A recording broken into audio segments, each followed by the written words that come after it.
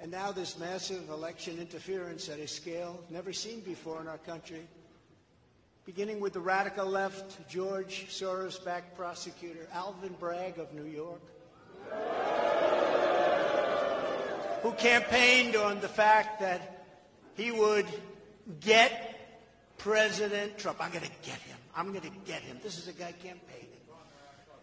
You want to get President Trump at any cost, and this before he knew anything about me, didn't know a thing about me. He was campaigning.